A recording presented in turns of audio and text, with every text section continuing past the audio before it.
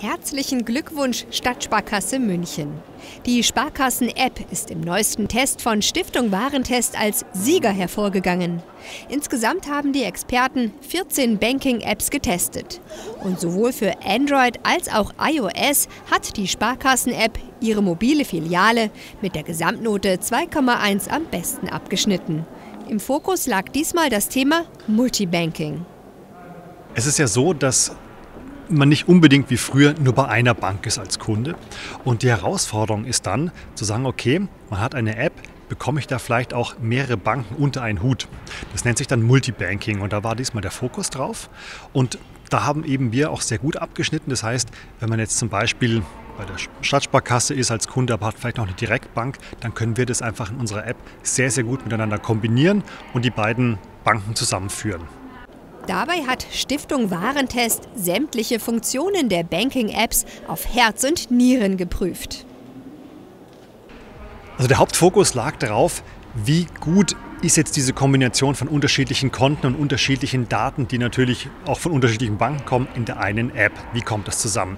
Wie sicher ist es? Wie komfortabel ist die Handhabung? Wie ist die Funktionalität? Aber auch, wie steht es um die Sicherheit? Das ist ja auch ein ganz wichtiger Punkt. Datensicherheit, Datenschutz, AGB, ganz aktuell momentan. Und da haben wir in allen Punkten sehr, sehr gut abgeschnitten.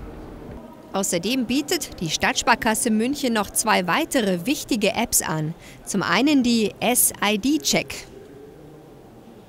SID-Check könnte man so übersetzen mit Sparkassenidentifikationsüberprüfung. Ne, langes Wort heißt auf gut Deutsch, wenn ähm, wir sehen, jemand kauft im Internet mit Kreditkarte XY ein, dann wird einfach überprüft, okay, ist es auch wirklich der Besitzer? Bin es auch wirklich ich? Ich hinterlege quasi mit dieser SID-Check-App ähm, meine Bezahldaten am Smartphone. Und wenn mit dieser Kreditkarte im Internet was gekauft wird, bekomme ich eine Meldung, schau mal her, da wurde 50 Euro ausgegeben für das und das, bist es auch wirklich du gewesen? Und dann kann ich sagen, ja, alles okay. Oder ich sage, nee, Moment mal, das war ich nicht haben vielleicht Betrüger, keine Ahnung, ist an meine Kreditkartennummer gekommen oder an was auch immer. Und das ist natürlich ein super Sicherheitsfaktor für sicheres Einkaufen online.